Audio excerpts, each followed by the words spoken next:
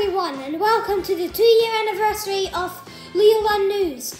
Yeah, this um, this whole program of Leo Land News has been running since the 29th of October 2022, and it's still, and even today, it's still going strong. And now you're gonna hear behind-the-scenes origin stories. So I had the idea of this program called Leo Land News in late October in in 2022. So I did it, and and, and released it. And right now it's got like 93 views or something. And and now tell you how I did it. So first, um, I, I used an iPad to record um, where I'm sitting at right now, and and then um, I got my editor to edit it. And for the first episodes, I didn't really know how to edit, but slowly through every episode, um, I got the hang of it. Also a few things I never should have mentioned in the first episode. Number one, I never should have mentioned what I was dressing up as. Number two, I never should have mentioned my swimming because that stuff was so embarrassing.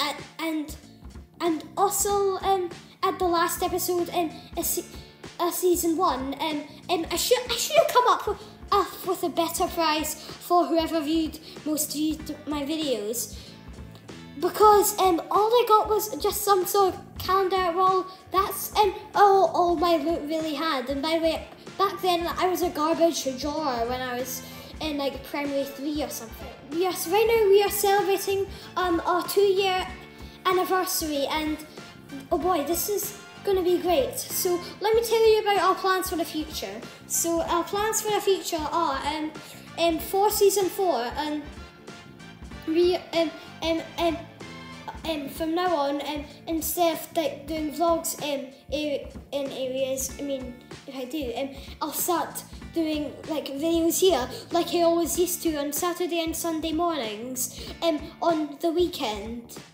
Also, um, for season four, um, um, I also, um, you, you know when I released the trailer for um, season four, um, um, it said that I return in the final season, which means after season four, um, this whole thing will go kablam, shut down. Well, um, well, someday if I decide to put it all back up again, I'll delete that trailer. You know how I said um, about a Best of Leo Land News trailer and the episodes are coming out on April the 1st? Well, it's not because um, I was lying, it, it was because I had a bunch of other stuff on, like doing drums and doing my keyboard lessons and and yeah and I had things on every single day of the week and I didn't have any time to record stuff. Um, for example,